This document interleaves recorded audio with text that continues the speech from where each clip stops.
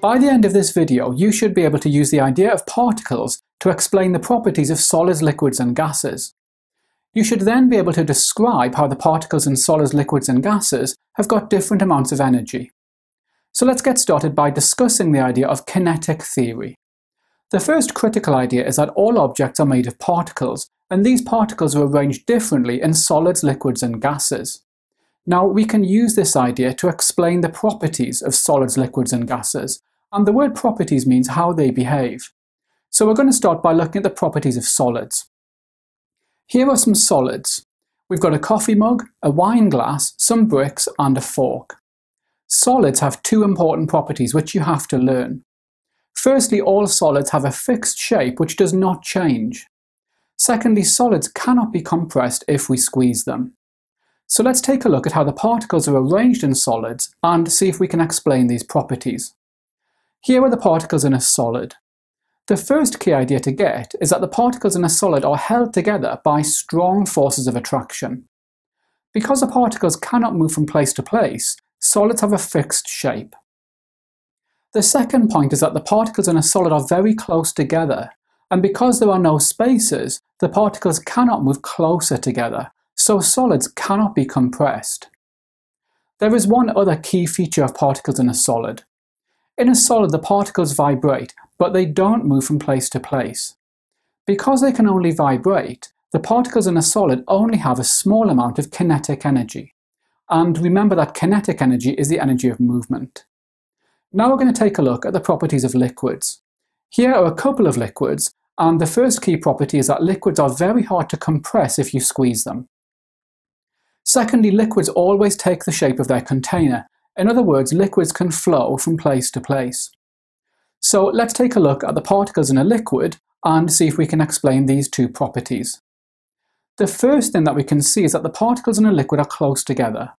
There are forces of attraction between the particles in a liquid, but these forces are not as strong as the forces of attraction in a solid. Because the particles in a liquid are already close together, it's very hard to compress a liquid. The second key feature of liquids is that the particles are moving from place to place, and that means that liquids flow and take the shape of their container. Now as you can see, the particles in a liquid are moving, so we can say that the particles in a liquid have quite a lot of kinetic energy. We're going to take a look now at gases. Gases are very easy to compress, and we can see this with an aerosol. An aerosol contains gas that has been compressed and when we press the top of the aerosol, the gas is released.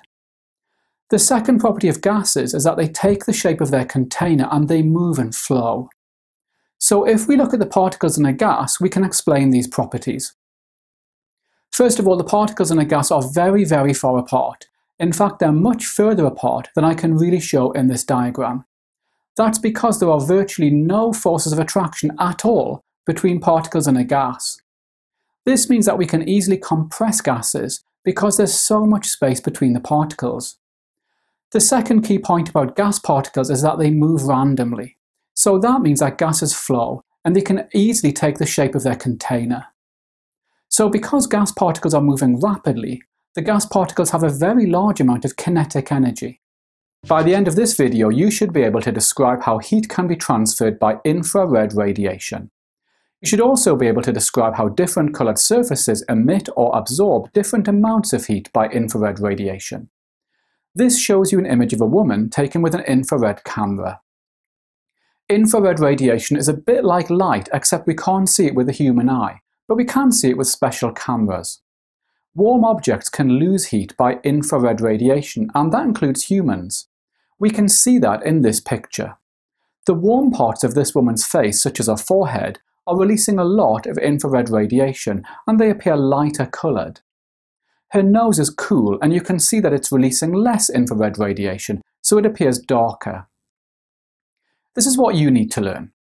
Warm objects lose heat by emitting infrared radiation, and hotter objects emit more infrared radiation than cooler objects. So how does the colour of a surface affect the amount of infrared radiation it emits? Well, dark matte surfaces are very good emitters of infrared radiation. The word matte means not shiny, so this polo shirt is dark and matte, and that means that it will emit a lot of infrared radiation. Dark and matte surfaces are also really good absorbers of infrared radiation. So if you go out in the sun wearing a black shirt, you'll start to feel really hot as you absorb infrared radiation from the sun.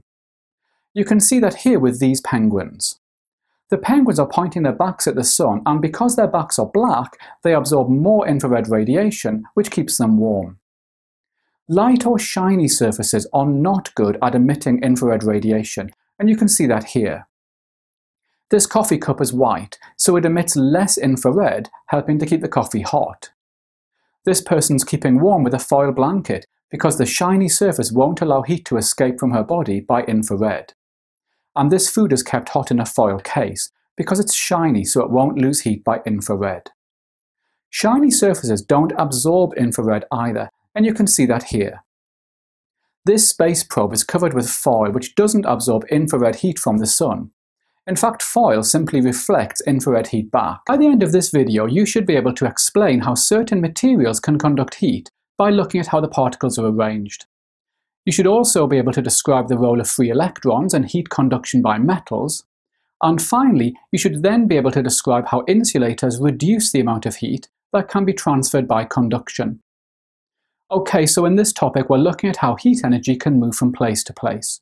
Now there are four main ways that heat energy can move, and you're expected to be able to describe each one. The first way is by infrared radiation, and we looked at that in the last video. Heat can also move by conduction through solids, which we look at in this video. And in later videos, we'll take a look at how heat can move by convection through liquids and gases, and also by a process called evaporation. Conduction takes place in solids, and especially in metals, and I'm showing you that in this diagram here. At the top, we've got a really hot piece of metal, and you can see that because it's glowing white hot. The heat energy is passing through these metal bars by conduction, and you can see how hot these bars are becoming. We're going to look at how heat moves by conduction, and you should be able to explain that in terms of how the particles are arranged. The best conductors are solids. Liquids and gases are very poor conductors. In a previous video, we looked at how the particles are arranged in solids, and I'm showing you that here. The first really important idea is that the particles in a solid are tightly packed together. In fact, the particles are all touching each other, and there are no spaces between them. The particles in a solid cannot move, but they can vibrate, and we're seeing that here. I'm showing you here the particles in a solid, and I'm going to heat one end like this. The heat gives energy to the particles, so they vibrate harder. Because all the particles are touching, the vibrations now pass across to the particles next to them, like this. So that means that the heat energy is not making its way along the solid, as the vibrations spread from one particle to the next. And now the heat has fully spread right along the solid. Remember that heat moves by conduction through solids, and that's because the particles are very close together, so vibrations can easily pass between them. Now, I said at the start that metals are really good conductors of heat, and you need to know why. Metals are solids, so the particles are packed close together, and vibrations can easily spread between them. But metals have another special property, making them great conductors, and that is that metals have got free electrons. These free electrons can move, and they can carry energy like this and that makes metals really great conductors of heat. Lastly, we're going to take a look at insulators. Insulators reduce heat movement by conduction, and I've got some examples for you here. This is an insulating jacket, here's a polystyrene cup for hot drinks, and here's a polystyrene box to keep food hot. All of these are good insulators, which means that they reduce heat movement by conduction. You need to be able to explain how insulators reduce heat movement, and it's all to do with how the particles are arranged. So I've shown you here how the particles are arranged in an insulator, and you can compare them with the particles in a conductor. The really obvious difference is that the particles in an insulator are not tightly packed. In fact, they have massive spaces in between them. And what that means is that when the particles vibrate in an insulator, the vibrations cannot be easily passed onto nearby particles. In other words, the heat energy cannot easily move through the insulator. By the end of this video, you should be able to describe how heat energy can be transferred by convection in liquids and gases, and explain convection in terms of the particles involved. And finally, you should be able to explain why convection cannot take place in solids. We've been looking at how particles are arranged in solids, liquids and gases, so let's recap. In a solid, all the particles are tightly packed together and they cannot move, they can only vibrate. Particles in a liquid are still close together, but they are moving. And finally, particles in a gas are very far apart and are moving very rapidly. In the last video, we looked at conduction. Conduction takes place in solids, and the heat energy is spread by vibration between the particles, and we can see that here. I'm heating one end of a solid, and that causes the particles to vibrate. Because the particles are really close together in a solid, this causes the nearby particles to vibrate, and this vibration passes down the solid, carrying heat energy. So solids are often really good conductors. Heat can also move by another process which is called convection. Some students do find convection a bit tricky, but it's not as hard as you might think. You may need to watch this video a couple of times, but you will get it. The key thing is that you must be able to describe the process. The first key fact is that convection takes place in liquids and gases, but not in solids, and you'll see why in a minute. So what actually is convection? Most people get the idea that heat rises. This is called convection. So convection is when heat rises from warm objects. Here are three examples of convection. We've got here a light bulb and a radiator and both of these are hot. This causes the air above them to warm and the air rises carrying the heat. We can also get convection in liquids like this boiling water. Again, the water here is heated and so that heat energy rises up. We know that heat can move by convection in liquids and gases, but how does it work? Well, we can explain this by looking at the particles. Here are the particles in a liquid and just to remind you that these are quite close together, but they are also moving. I'm going to heat the bottom here. This causes the particles to gain energy, and I'm showing them in red.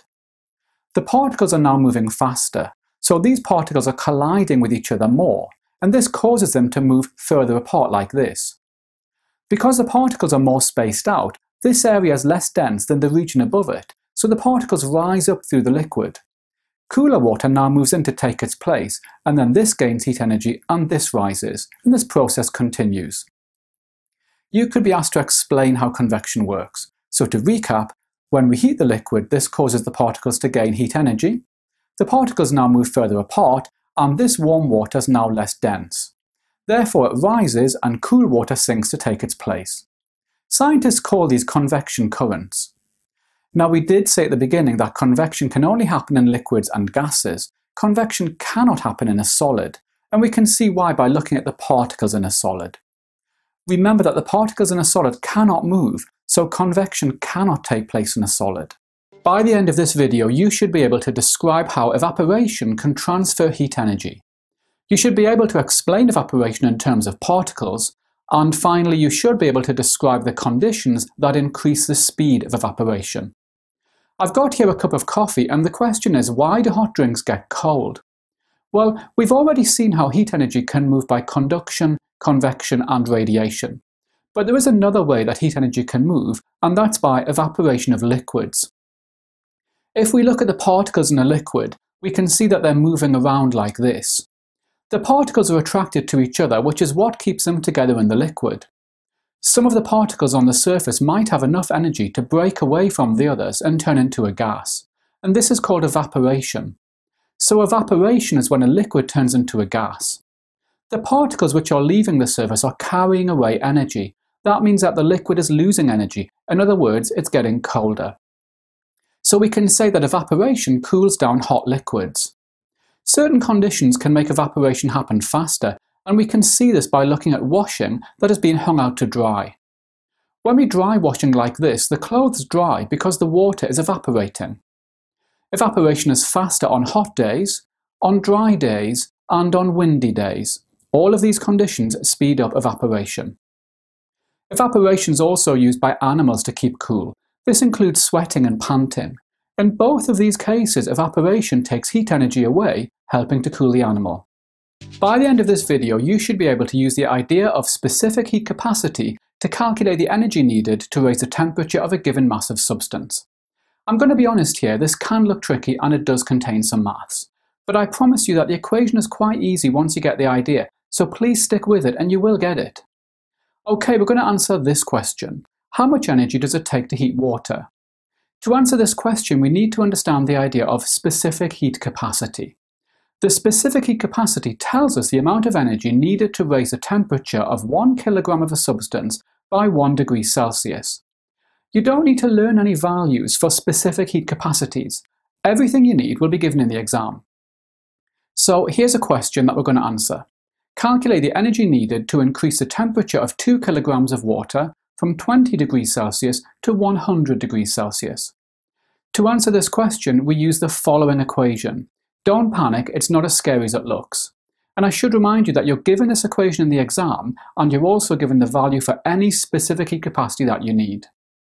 The energy in joules equals the mass in kilograms multiplied by the specific heat capacity multiplied by the temperature change in degrees Celsius.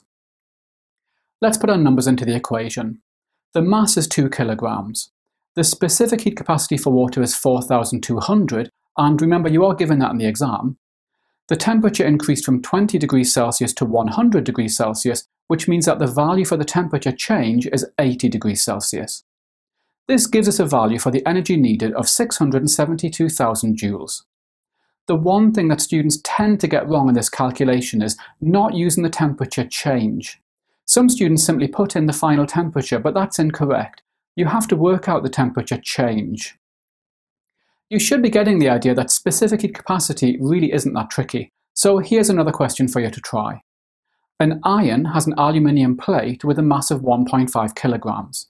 The temperature rises from 20 degrees Celsius to 200 degrees Celsius. Calculate the energy needed. Okay, so let's put the numbers into the equation. The mass is 1.5 kilograms, the specific heat capacity of aluminium is 913, and the temperature changes 180 degrees Celsius because the iron went from 20 degrees Celsius to 200 degrees Celsius. This gives us a value for the energy needed of 246,510 joules. Here's a final question for you to try. This is a higher level question, so it's a bit trickier. A hot water bottle cools down from 80 degrees Celsius to 20 degrees Celsius, releasing 756,000 joules of energy calculate the mass of the water in the hot water bottle. Here's our equation again, but this time we're given the energy and we're asked to calculate the mass of the water. That means that we need to rearrange the equation to find the mass. So the mass is given by the energy divided by the specific heat capacity multiplied by the temperature change. Putting our numbers into the equation gives us a mass of 3 kilograms for the water in the hot water bottle. Don't be surprised if you get a question like this in the higher level exam. By the end of this video, you should be able to describe in terms of particles how insulators reduce heat movement. You should then be able to explain that U values give us an idea of the effectiveness of an insulator, and then use U values to compare different insulators. We've looked at how heat can move by conduction. Remember that solids are good conductors of heat, but liquids and gases are not. This is due to the arrangement of particles in solids. The particles in a solid are tightly packed together. Particles in a solid cannot move from place to place, but they can vibrate. So I've got a solid here and you can see the particles vibrating. If I heat one end, then the particles vibrate with greater energy. This causes them to collide with nearby particles, spreading the energy and carrying the heat. Metals are especially good conductors of heat, and that's because they have free electrons which can move and carry the heat energy. So in this video we're looking at insulators. Remember that insulators reduce heat movement and I'm showing you three insulators here. So how do insulators reduce heat movement? Well, it's all about the arrangement of particles. Insulators have large spaces between the particles, and these spaces make it harder for vibrations to pass from one particle to another. This means that heat energy cannot easily pass through an insulator. The effectiveness of different insulators can be determined from the U value. Now here's a key fact that you have to learn. The lower the U value, the better the insulator. You won't be asked to calculate U values in the exam, but you may be given them for different insulators and asked to determine which is the best. I've got here a picture showing single glazed and double glazed glass. Single glazed glass has a U value around 5.8, and double glazed glass has a U value of around 3.7. So as you can see, the double glazing has a lower U value, which tells us that double glazing is a better insulator than single glazing. Double glazing is a better insulator because it has a layer of air trapped between the two panes of glass. Remember that gases such as air are very poor conductors of heat. Double glazing saves us money because less heat can escape to outside. However, I should point out that double glazing is much more expensive than single glazing. There are other ways to reduce heat loss from a house. One of these is loft insulation, which works really well and is not expensive. This insulating fibre has a really low U value, which makes it an effective insulator. Another way of reducing heat loss is to use cavity wall insulation. Here, insulating fibre is packed into the spaces between the external walls of a house. Again, this fibre has a really low U value, making it a good insulator. By the end of this video, you should be able to describe how the rate that heat moves is affected by the surface area and volume of an object. You should then be able to describe how animals are adapted for hot and cold conditions. This often comes up as an essay question. We're going to explore this topic by looking at animals, since this is a really great way to illustrate the ideas that you need to understand. So we're going to start by looking at surface area and volume. Remember that heat is lost from an object's surface, and we've looked at how this heat can be lost. Heat can be lost by conduction, convection, radiation, and evaporation. Objects with a larger surface area lose heat faster than those with a smaller surface area. Here's a key fact that you need to learn. Smaller objects have a larger surface area for their volume than larger objects, so that means that smaller objects cool down faster than larger objects. Now we can actually see this with animals. Animals in cold conditions tend to be larger than those in warm conditions, and a good example is penguins. We find emperor penguins in Antarctica where it gets extremely cold, and emperor penguins are really large. Here's a picture of some emperor penguins. The adult penguins are over a metre tall, so for their volume these penguins have a relatively small surface area so they can keep warm. Just to compare, this picture shows you a blue penguin to the same scale. Blue penguins are only about 30 centimetres tall and we find these in warm conditions in Australia and New Zealand.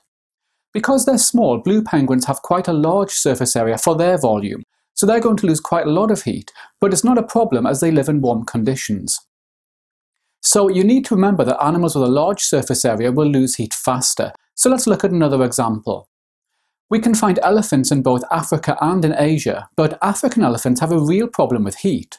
Africa is really hot and the heat from the sun's intense, so African elephants have to be able to lose heat quickly. To do this, African elephants have really large ears with a huge surface area, so warm blood passes through these ears and loses heat. Asian elephants don't have such a big problem with heat, since they do not live in such hot conditions, so their ears are smaller. Another good example of animals with a large surface area are desert foxes. These pictures show you desert foxes, which live in hot conditions in Africa. Desert foxes have massive ears, which give them a really large surface area, helping them to lose heat. These pictures show you Arctic foxes, which live in the very cold conditions of the Arctic. Straight away we can see that Arctic foxes have got very small ears. This means that Arctic foxes have a relatively small surface area, so they lose heat less quickly than the desert fox. The other thing that you'll notice is that both of these animals are very light coloured. Remember that lighter surfaces absorb less infrared radiation than darker surfaces, so that means that the desert fox does not get hot in the sun. If it was darker, it could get too hot. Also, lighter surfaces are really bad at emitting infrared radiation. So in the case of the Arctic fox, it doesn't lose much heat. If it was darker, it could get too cold. We can also see that the desert fox has very thin fur, which means that it can easily lose heat by convection to the air. Whereas the Arctic fox has really thick fur, which acts as an insulator, reducing heat loss from the Arctic fox's body. There is one final adaptation that both of these animals show. Both the desert fox and the arctic fox have fur on the bottom of their feet, but for two different reasons. In the case of the desert fox, this fur protects the fox from the heat of the sand. But in the case of the arctic fox, the fur reduces the amount of heat loss by conduction to the snow. Humans have learned how to keep machines cool by using the example of animals. This shows you a cooling system for a computer. you can see here that it has fins. These increase the surface area, allowing heat to escape faster. And if we compare a computer cooling system with a Desert Fox, you can see the similarity.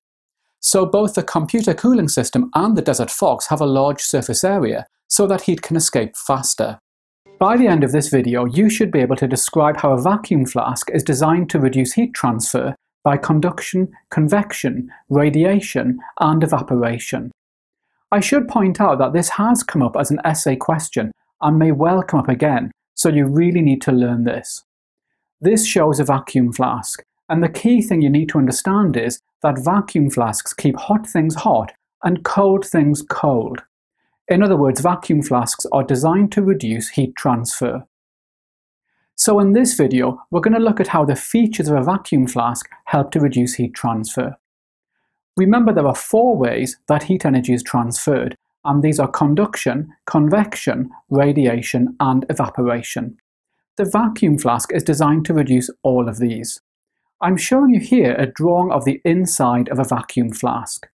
We can see that we have a plastic top, silvered glass walls, a vacuum between the glass walls, and plastic supports. We're going to look at how each of these reduce the transfer of heat energy. We'll start by looking at the plastic top. This reduces energy transfer by conduction, convection and evaporation, so let's see how. First of all, plastic is a good insulator, so that reduces conduction. Heat transfer by convection is reduced as convection currents are blocked by the top, and heat transfer by evaporation is reduced as water molecules which do evaporate are trapped inside the flask. Let's look now at the silvered glass walls.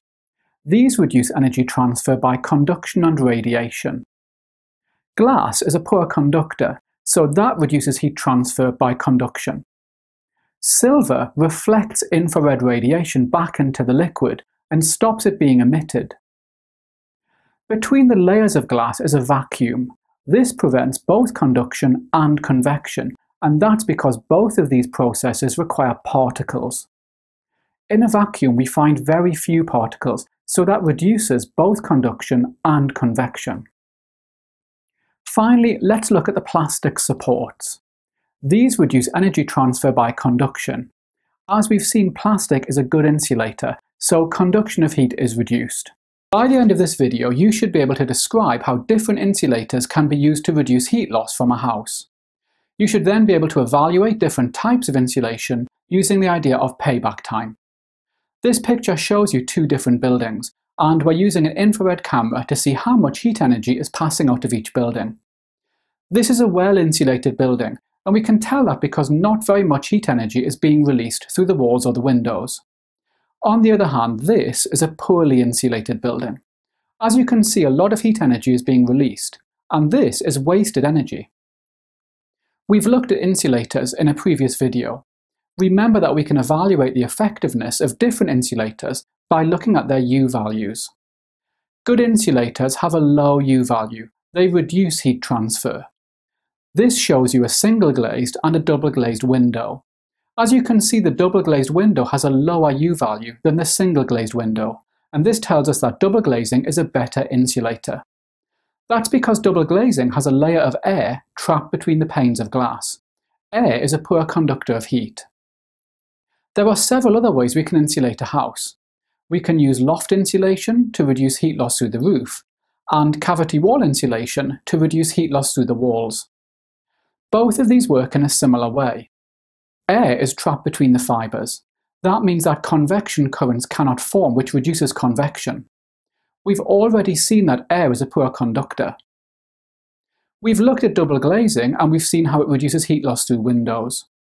We can even use really cheap methods such as a draft excluder to prevent air from passing under doors.